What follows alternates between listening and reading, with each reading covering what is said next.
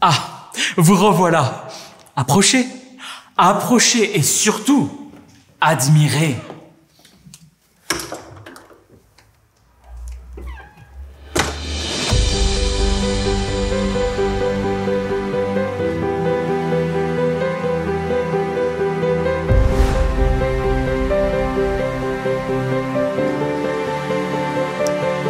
Nous sommes ici en haut de l'escalier en fer à cheval.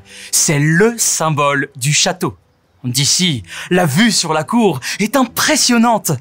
Mais comprenez bien que Fontainebleau a sans cesse été transformé au fil des siècles. Chaque roi ou empereur a apporté ses propres modifications. Par exemple, à gauche, l'ancienne galerie d'Ulysse, qui datait de la Renaissance, a laissé place à l'aile du roi Louis XV. Notre empereur, Napoléon III, y a même fait construire un théâtre. Juste en face, un vieux bâtiment a été détruit et il a été remplacé par la grille d'honneur de l'empereur Napoléon Ier. À droite, se dresse l'aile des ministres et la salle du jeu de paume. Entre les deux se trouve l'accès vers le jardin de Diane. Ah, c'est un endroit très agréable pour se promener. Oh Vous voilà Décidément, vous ne travaillez jamais, hein Ismérie oh, Souvenez-vous, elle est la lectrice de l'impératrice. Elle me surveille. Euh... Dites-moi, vous ne deviez pas préparer la réception qui aura lieu la semaine prochaine? Bah, Que faites-vous donc ici? Eh bien, euh, je voulais montrer à nos chers visiteurs la plus belle vue du château. La, la plus belle vue? Oui. Ah non Mais non Je ne suis pas d'accord oh, Cela m'aurait étonné. Hein. Mes chers enfants, suivez-moi Allons vers la chapelle de la Trinité Par ici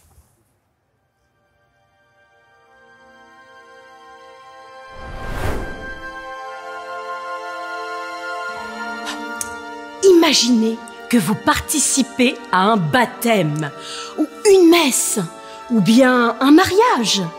Oh, la chapelle est remplie de monde.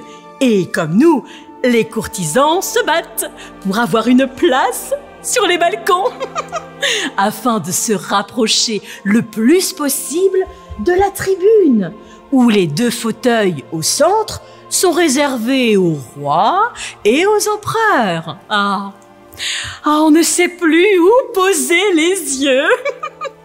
Entre le sol en marbre et les fresques du plafond, on est ébloui par tant de beauté. Oh, je, ne m'en lasse pas, hein Oh, mais, le temps file et je dois absolument retrouver Sa Majesté pour lui tenir compagnie. Je, oh, je vous laisse. Profitez encore de cette vue. À tout à l'heure